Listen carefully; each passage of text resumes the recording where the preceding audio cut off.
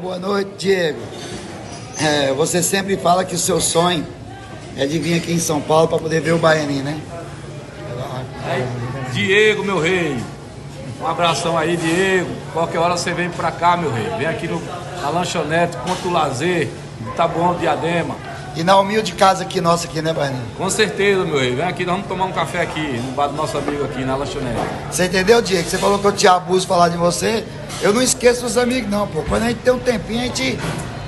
É pra não abusar do menino aqui, que o menino aqui é procurado, viu? É isso aí, Diego. Obrigado pelo carinho aí, meu rei. Tamo junto.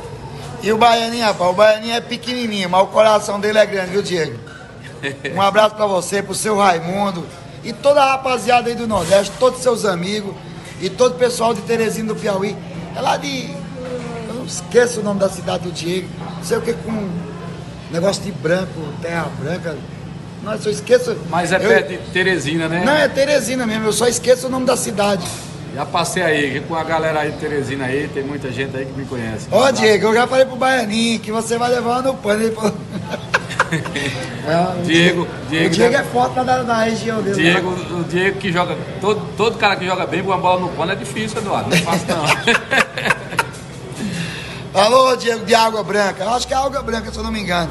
Água Branca, um negócio assim. Um abraço, Diego. Tamo junto. aí, meu rei.